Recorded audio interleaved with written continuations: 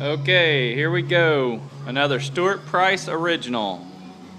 Looky here. I'm making me an air conditioned lawnmower. Tired of the dust, tired of all the problems. Think it's going to work out okay. Having a few little problems, but working on it. It's getting better. As you can see, I'm trying to get the cab and stuff all worked out. Air conditioner will be back here. And then I'm on plexiglass all the rest of this around this thing. What a problem. But when you want something bad enough, seems to be you'll do it. But I think that looks pretty good. It's working out. I'm just hoping my mower is good enough to do what it needs to do. I think it'll be pretty good.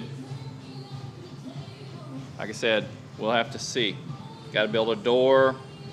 Got to still tack everything. I've got everything bolted, but I'm going to tack weld it and stuff. I've started on some of it. I haven't done it all. But anyway, I put a window all around all this stuff and everything. It ought to be pretty nice. Well, that's about it.